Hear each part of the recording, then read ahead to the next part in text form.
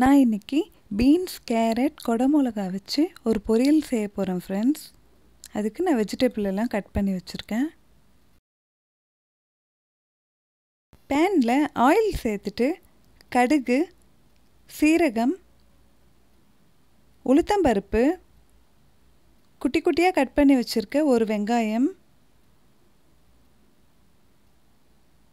ஒரு தக்காளி சேர்த்து நல்லா மிக்ஸ் பண்ணி விட்டுக்கிறேன்.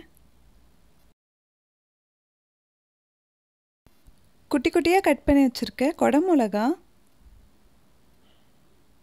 பூண்டு. கேரட்.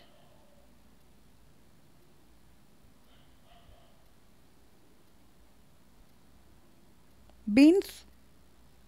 எல்லாம் சேர்த்து நல்லா மிக்ஸ் பண்ணி விட்டுக்கிறேன்.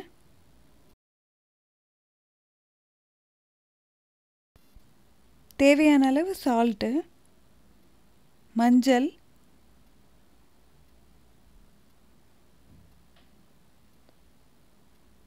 அரை ஸ்பூன் மிளகாய்த்தூள்.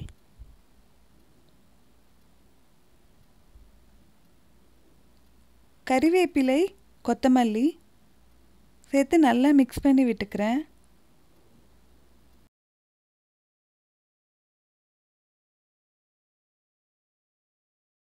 இப்போ நான் ஒரு டம்ளர் தண்ணி சேர்த்துக்கிறேன்.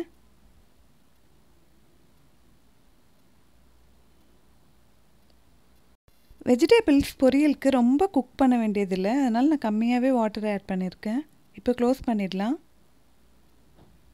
இப்போ சூப்பராக பொரியல் ரெடி ஆகிடுச்சு